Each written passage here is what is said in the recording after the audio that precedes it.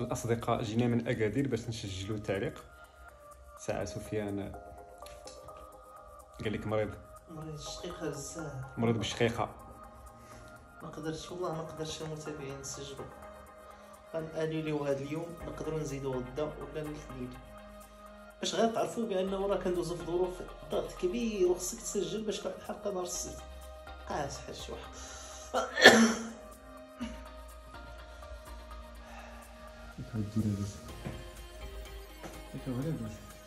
ما قدرتش الرحمن نعس نعس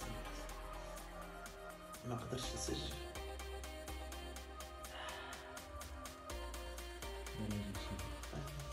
الصراحة هذا النهار هذا كنت عيان ديال بصح. ما قدرتش نسجل.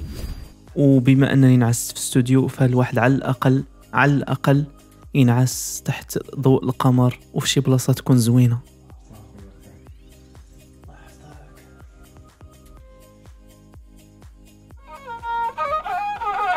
أه، الصراحة ذاك النهار أه، يعني أه، شنو هو الدواء والوصفة الطبية اللي استعملت؟ ما استعملت والو. الطاجين. أنا أقولها وأعيد وأكررها. دواء البطن أو دواء الجسم هو الأكل. يا أخي تهلا في راسك. قبل ما يجيو ولادك وياكلوا رزقك. مشيت ذاك النهار مع عبد الرحمن الأنزي. والله العظيم. يعني مقاهي تقليدية دخلنا. اش غنقول لكم؟ كتحس بالطعم ديال ديال طعم الأكل. يعني تتاكل حاجة وتتبنن بها. مليح ود الرحمن مليح.